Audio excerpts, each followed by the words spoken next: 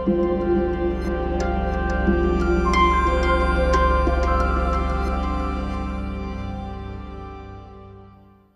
welcome Dom Tait. Hi, everybody. My name is Dom Tait, as has been said, and I am research director of the games team at Omdia, uh, an analyst firm that uses its research and data to help companies to make informed business decisions.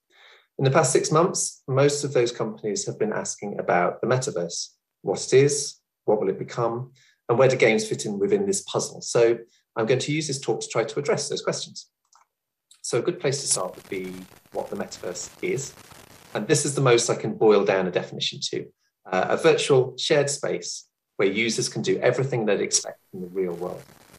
Now, there's no um, consensus view of how best to describe the metaverse in detail. And as a side point, I often hear it quite scornfully described as very poorly defined, but I would argue that's entirely unsurprising.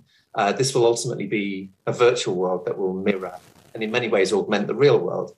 And I've certainly never seen a, a 200 word definition of the real world that feels remotely satisfying. But with that said, here are what I think are six useful points that should help to frame the end goal of the metaverse. Uh, no limits. The metaverse should be able to be accessed by any number of people at any time on any internet connected device or platform they wish. Harmony. Every user is offered the same virtual world to inhabit with changes implemented in real time. Equality content within the metaverse could be created just as easily by an individual user as a major company. Identity. Users can create an avatar that represents them wherever they travel in the metaverse, a persistent virtual social presence. Economy, a sophisticated system of trade like the real world economy, again with no limits in terms of the platforms where those digital assets have meaning. And finally, immersivity, ultimately a world rich and realistic enough to feel fully connected with, an absence of any jarring realization that the user is within a simulation. And here's a way to conceptualize the metaverse that I find helpful. And I can give it a video gaming analogy too. Um, in Super Mario 64, the setting of Peach's castle used paintings within it to warp you into different worlds. Now, what if the base metaverse, if you like, is represented by Peach's castle or this gallery? Your identity or avatar is here. And then you've got the Minecraft painting and the Fortnite painting and the ones for Meta's virtual business meetings and so on. Now, there is um, a necessary separateness required here because it would be a really bad idea for the Resident Evil world to overlap with the Hello Kitty world. But nevertheless, these worlds should speak to each other in some way. They should have a harmonized base area for access. If you want to think about the metaverse in an entirely different way, I'd recommend considering it like this. When the internet first became established, the default way of consuming it was through a desktop computer. It was also the only way you could consume it. When smartphones became ubiquitous, however, their convenience and price meant that globally we moved to a mobile first world of internet usage. And the next phase of consumption, and this is um, especially for any of you listening who are tired of or otherwise annoyed by the constant usage of the term metaverse in today's entertainment and media coverage. Well, the next phase could simply be called the immersive internet, enveloping your field of vision, 3D, photorealistic, and with largely limitless possibilities. That's the promise of the metaverse, but you don't need to use that word to understand the ultimate direction of travel for internet consumption. Nor do you need to read Snow Crash by Neal Stephenson, where the term originated, although it is a really good novel. Now, two quick things to say here. One, just because the smartphone is the world's main internet platform, that doesn't mean desktops are suddenly obsolete. And the same will be true after immersive internet takes off. We'll still be using our mobiles and desktops. Another thing to say is that this immersive version of the internet becoming the default is a really, really long way off. Uh, we at Omdia typically make five year forecasts. Immersive internet becoming the default internet consumption mode does not feature within them even if inroads will be made over the next five years. Now, one reason for this, um, well, a recent article caught my eye because it began like this quote, uh, It is hard to imagine humans spending their lives in virtual reality when the experience amounts to waving your arms about in the middle of the lounge with a device the size of a house brick strapped to your face. Now, I'll park the waving your arms around in the lounge bit to focus on the device the size of a house brick bit because it's certainly worth pointing out that relatively early versions of devices being massive is very much a part of the history of the evolution of tech.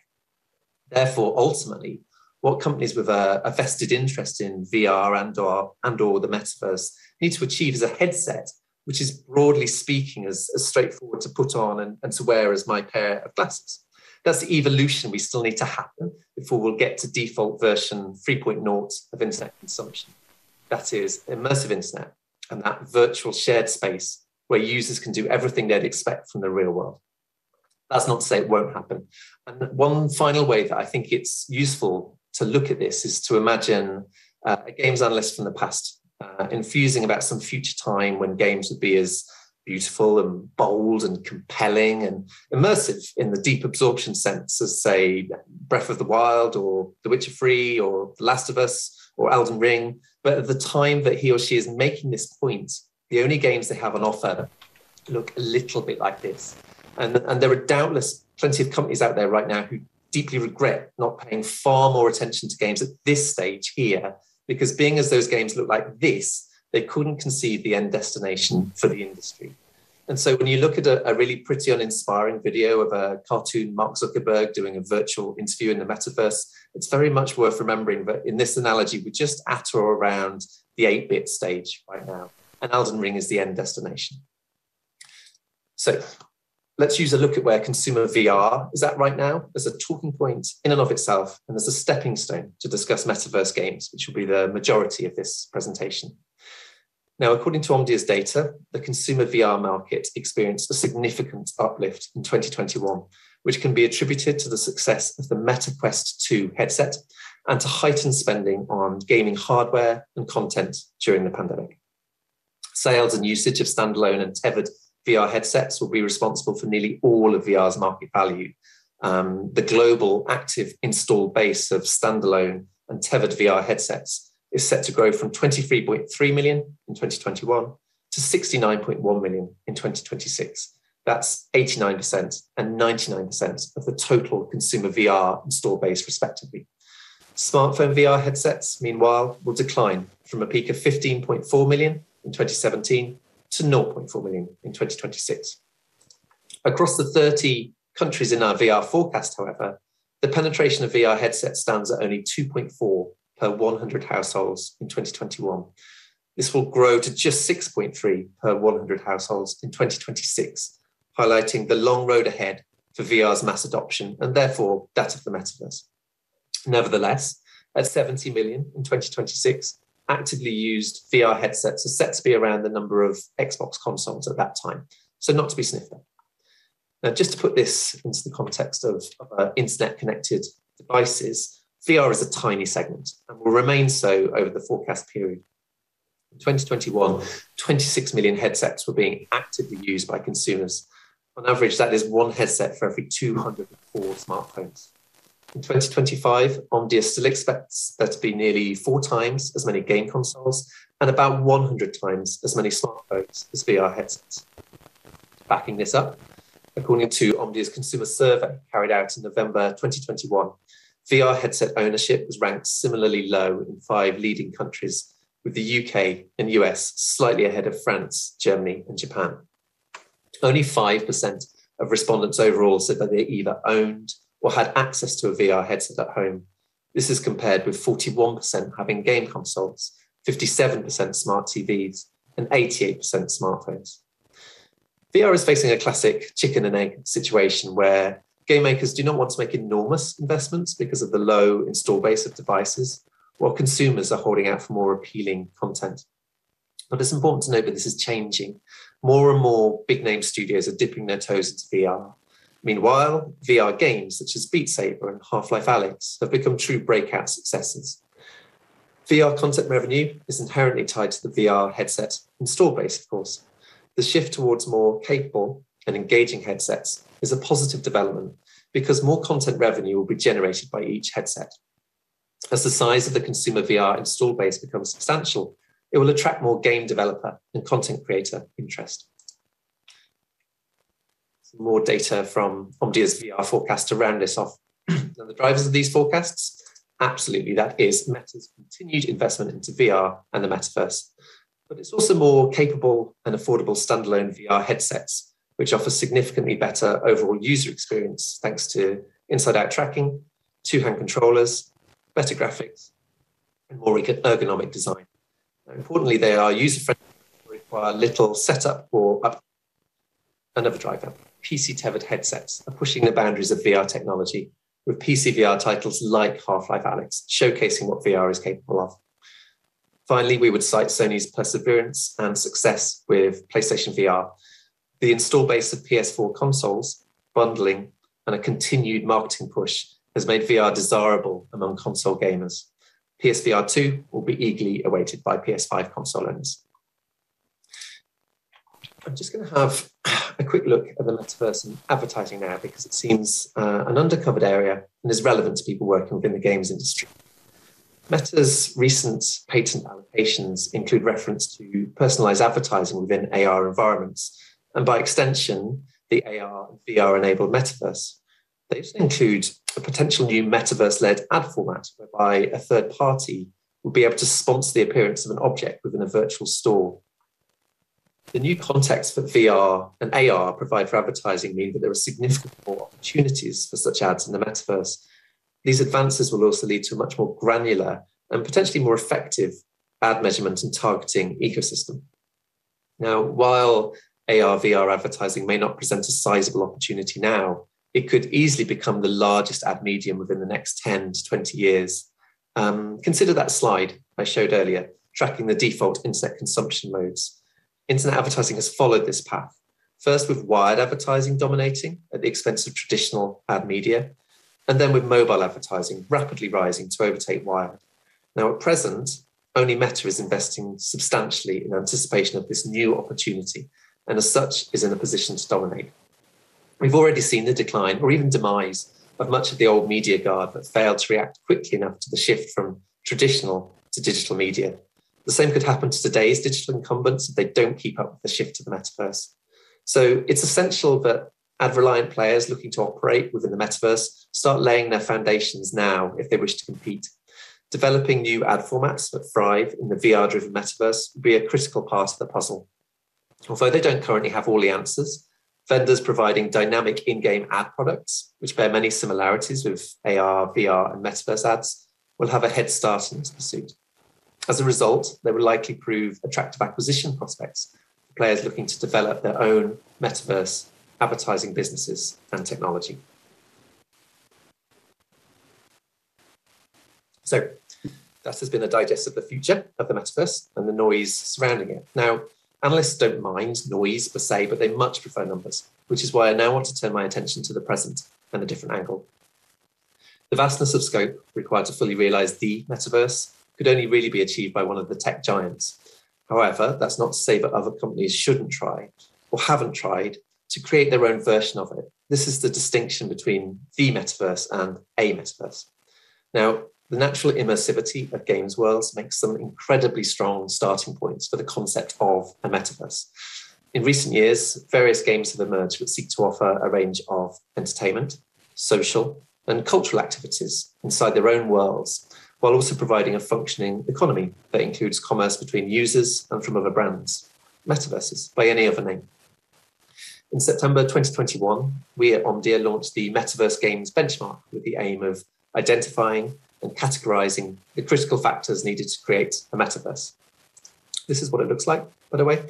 But since uh, Excel isn't the most thrilling program to share, I will flip back to PowerPoint. So for this benchmark, we ranked six games against a set of defined factors. The games were Minecraft, Fortnite, Roblox, Dreams, Core, and Zepeto.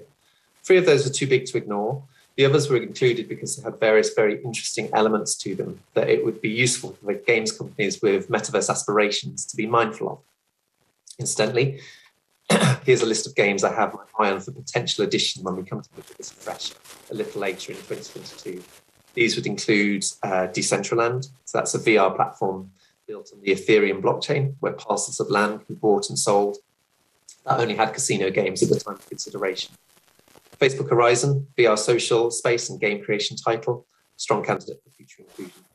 Sensorium Galaxy, the Swirly S, uh, VR social platform, initially concentrating on music and mindfulness, but with game mechanics in place. That was in closed beta at the time of our work.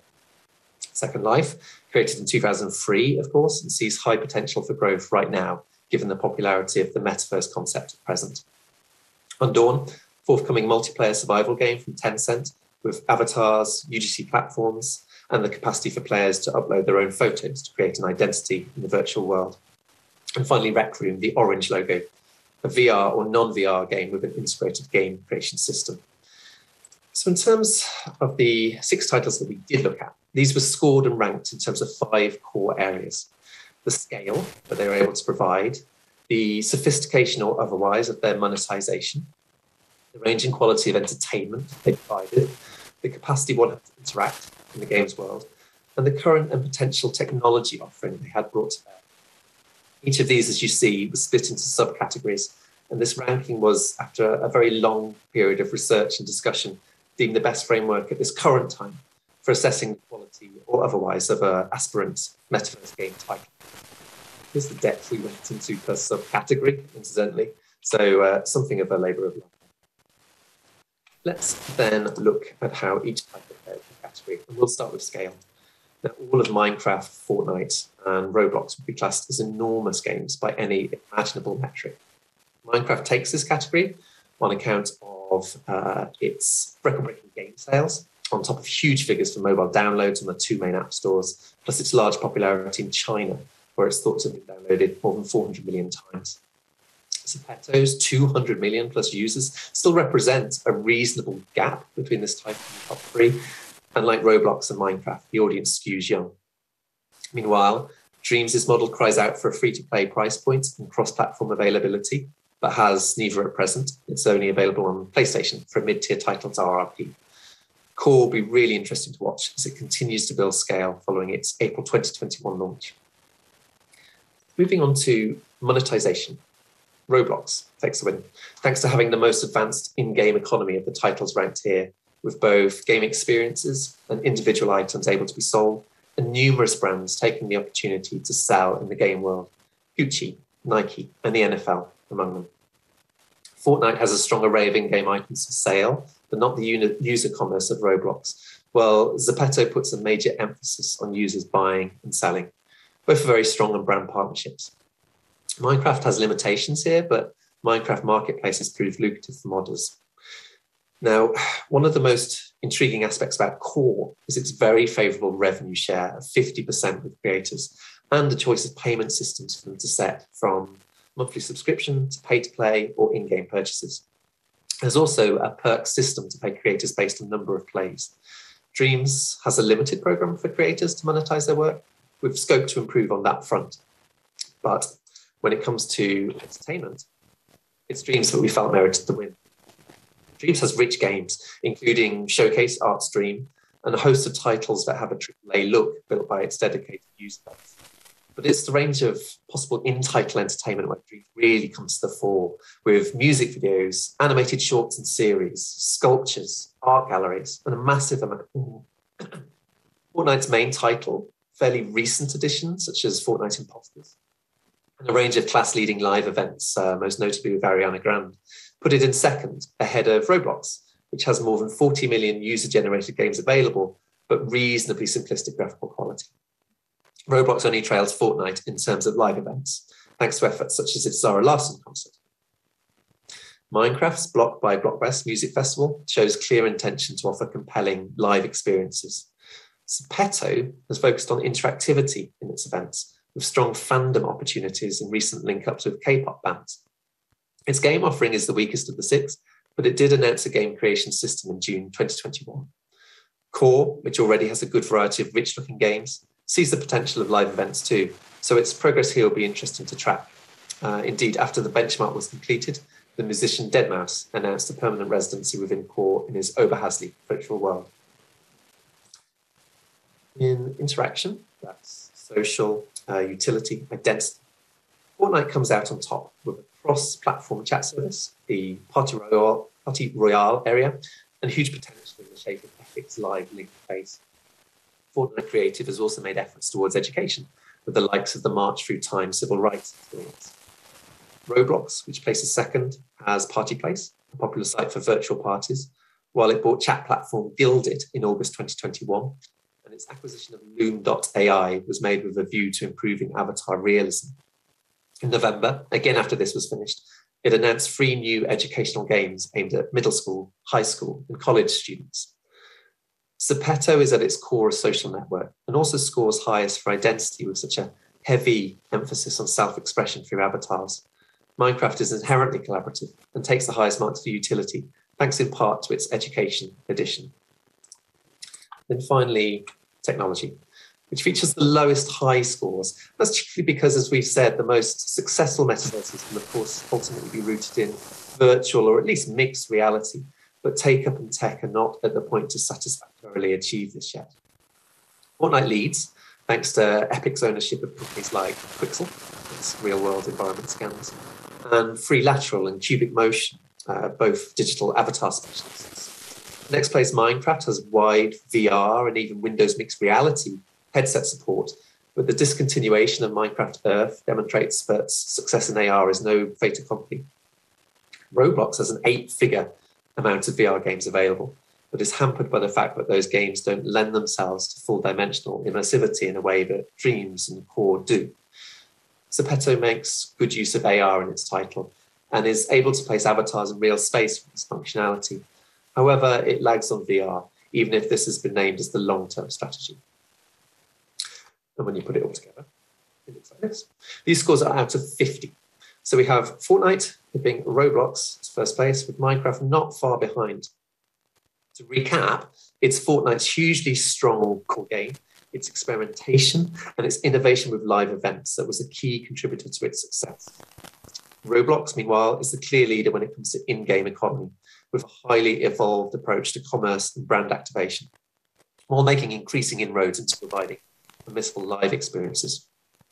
And with various features announced after this benchmark was made, uh, the free educational titles I mentioned, the addition of Metaverse esports, and the likes of Nike Land, uh, a Nike owned world for games and retail launched in Roblox in late 2021.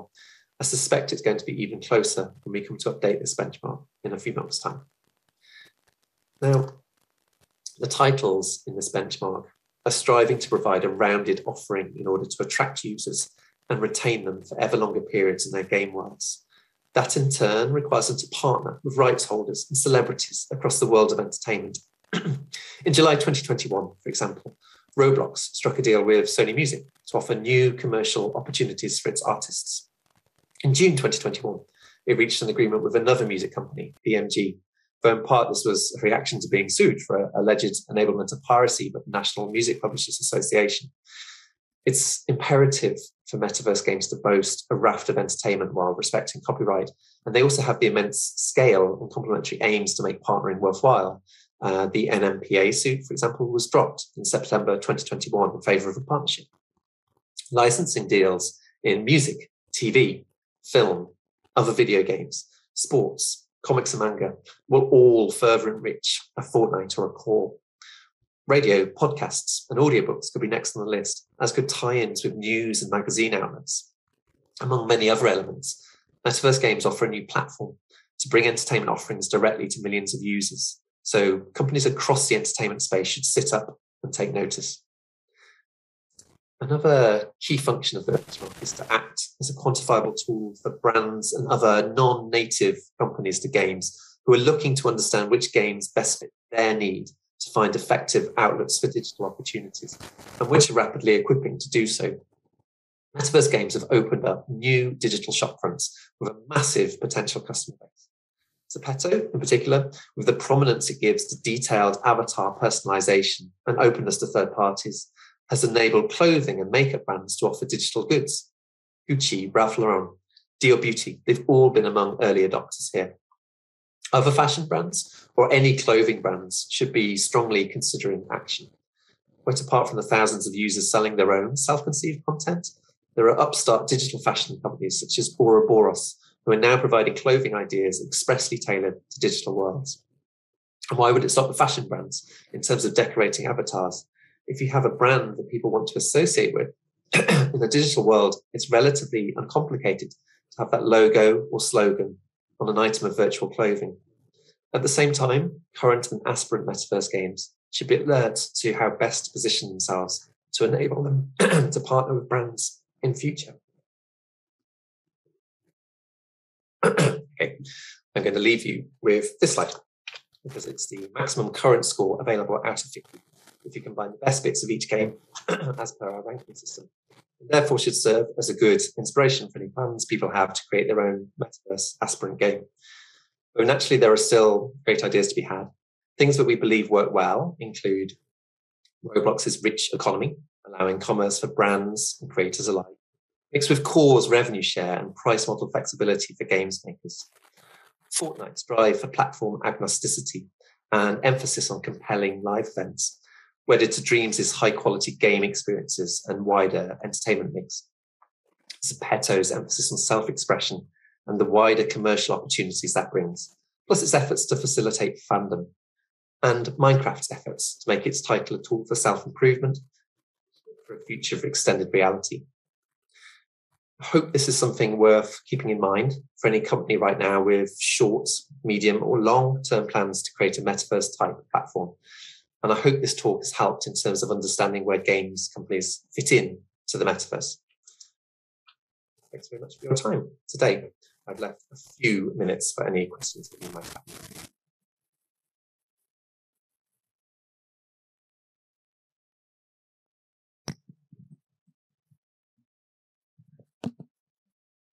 Dom, are you ready for some Q&A?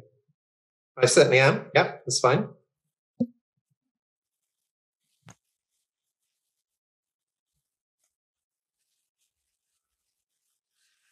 Hey, good morning. My name is Phil Aganis. I'm currently one year produ- one year in production on a VR game, and uh, we're looking to launch anywhere between August and December this year. And we're kind of um, thinking about ways and what to do and all all those things. We're thinking about our goal is to get on the Meta platform, submit to Oculus, and um, but we're kind of worried about now the backup plan. Like, what if they say no? What if everybody says no? Right? What are we gonna do? And um, was looking at the metaverse, and I, I had this idea, and um, I wanted to get your thoughts on it. Um, we're thinking about contacting as many people that own digital properties in the metaverse.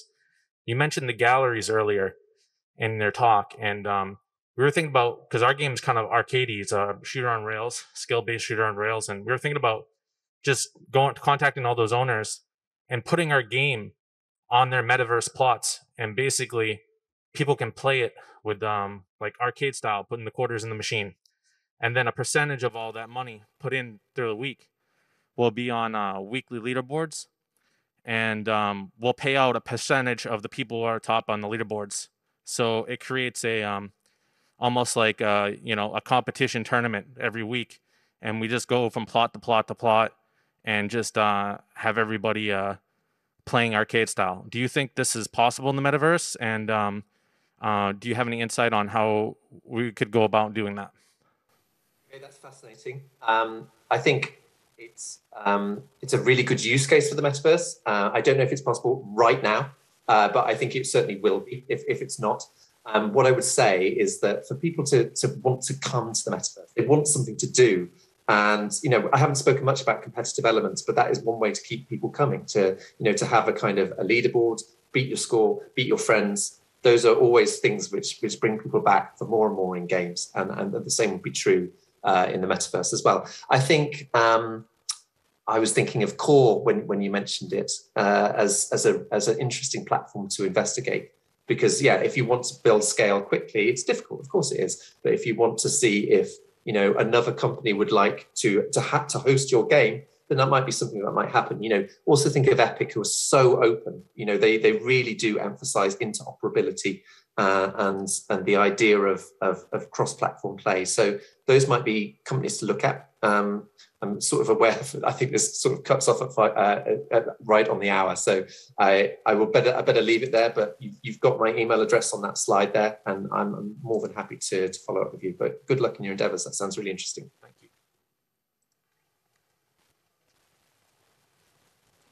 Thank you. Uh, it looks like we have one more question, Dom. Okay. Yeah, hello. That was great to have the presentation and all about the metaverse. So my name is Asad, and I am the founder of Immersive Ads. um, just like you told about all the monetization, everything pertaining to the metaverse. Um, primarily, that's what we are really interested in as well, as in doing ads for the metaverse and all the 3D environments for which people make games. Uh, what we have seen up till now is most of a brand advertising that you would expect on metaverse and all that VR games and all the virtual environments. Whereas um, in the current scenario of advertising, there is a lot of call to action as well, right? People want to promote the content. There's performance manage, performance marketing, and they expect some action to be done against which they need to be paid. However, what do you think it's going to be like in the VR or the metaverse? And how would the call to action to those ads would um, happen? Because what we have created right now is something really interesting that as soon as you get nearer to to an ad it becomes responsive it becomes actionable. So would that really help? It sounds it's that sounds yeah that sounds like the sort of thing that works. I mean i was we we you can see uh, meta's patents uh, they, they have been sort of or some of them at least have been revealed so you can have a look through what they've been doing but they're doing very similar stuff to that. I'm not sure I, I heard that exact one, but I think location based calls to action, yeah, that definitely works. I mean, you see that actually in digital out of home media uh, a, a, lot. So yeah, I think that's a translatable idea. Um, and you know, I, I, necessarily gave a little bit of time to advertising metaverse because a that's surely how Meta is going to you know model uh, model things, and therefore going to be a, a kind of a real a real way of of propelling uh, the, the, monetization model really of the metaverse. Um, and yeah, B, there are so many opportunities for companies such as yourselves um, who have, you know, ways of doing location based or even, you know, maybe I don't know if you've got eye tracking based um, advertising um, options available. Uh, but yeah, if so, I think you've got a head start. So um, yeah, again, that's, that's two really interesting people uh, involved involved in this. So uh, yeah, I will. I look forward to, to hearing from you in future as to as to how you're getting on there. Oh, cool. So um, I'll, I'll just follow up on that with you. Thank you very much. No worries. All right. Thank you, Dom. Appreciate it. Thank you all very much for your time.